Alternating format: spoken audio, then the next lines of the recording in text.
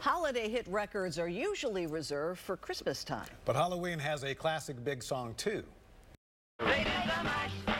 They did the monster mash. Yeah, the Monster Mash. News 4's Terry Bulger tells us why it makes a Nashville woman smile every time she hears it.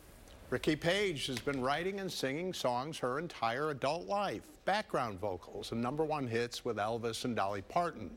But all anyone ever wants to talk about is her part in that haunting Halloween classic. They did the mash. They did the monster mash. The monster mash. It's the Halloween hit that just keeps spinning.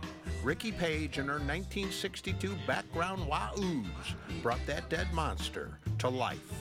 It was about Boris Karloff, you know, and, and Dracula. Rickie showed me those singing days. This is me when I first was on the Dick Clark show. That's me on the left. Complimented constantly back then, and not just for her voice.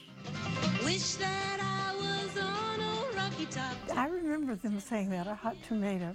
That was back in the 40s. A full career of writing songs and singing with the greats. I've never really had that great big song. I'm still striving for it, you know.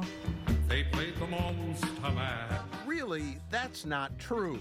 Her big hit was those Wahoos. Wow, tennis shoe. We had to sing tennis shoe. So if I listen real closely, You'll hear tennis shoe.